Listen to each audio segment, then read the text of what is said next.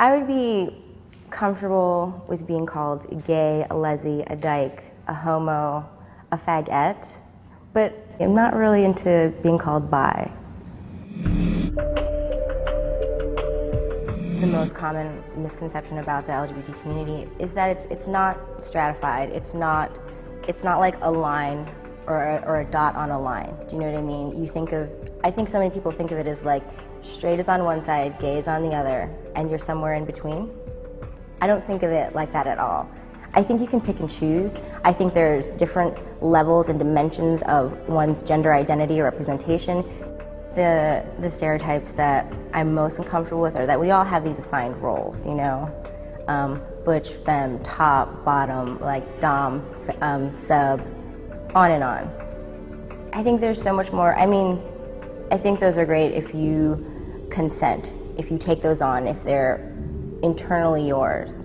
For me, I just need more room. There needs to be room to move, to change your mind, to make decisions, and not just have them made for you. My boyfriend is trans. Um, I identify as queer, so does he. And it's not, it's not shocking to me, it's not controversial. It's, it's totally normal for us. You know, he's not the first trans boyfriend that I've had. For our friends and our family members, I don't think anyone sees it as weird.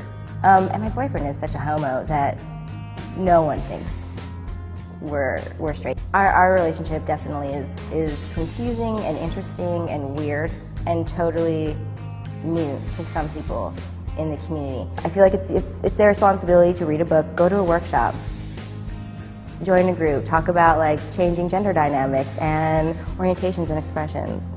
I think it's about comfort levels. Like, what will you challenge yourself to know that's going on that's maybe outside of your purview? That's where a relationship between like a lesbian queer can happen with a trans fag dude and be totally natural and totally like loving and supportive.